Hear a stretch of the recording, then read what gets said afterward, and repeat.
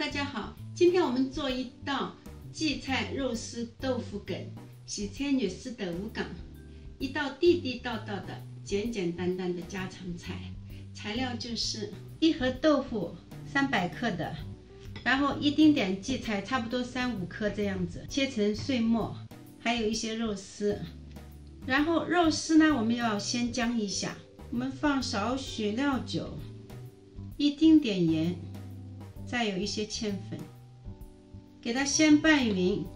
肉丝好，尽量尽你所能把它切细一点，因为这道菜吃的时候是滑滑的，感觉很细巧。那拌匀后呢，就让它在边上醒着。最后呢，我们要准备勾芡用的是淀粉，放这样满满的堆起来，以防万一，万一弄了。一半不够，你会手忙脚乱的。然后放两个 tablespoon 的水，和匀它，就可以准备开火了。一般来说，调一大碗的梗，你用一个 tablespoon 的淀粉就够了。但是有的时候那个淀粉，你就是这次买的和上次买的那个浓度都会不一样，所以呢，我们就稍微要多加一点。开大火，锅热下油，油温了就下肉丝，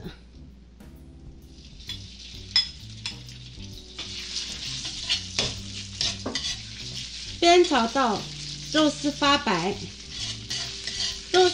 白就把它先装起来，然后呢，即刻倒上一杯水，再盖上锅盖。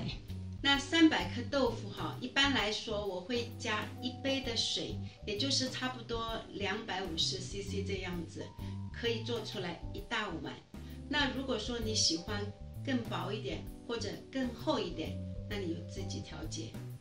水开了呢，我们就先下豆腐，用刀就直接在盒子里这样划，不要用砧板了，水烫烫的。四周都这样划一下，让它容易下来。离得近近的，轻轻的倒进去。你离它越远，它溅得越高。盖上锅盖，一会儿它就又开了。再开了呢，我们先放肉丝，再放荠菜，拌匀，马上调料。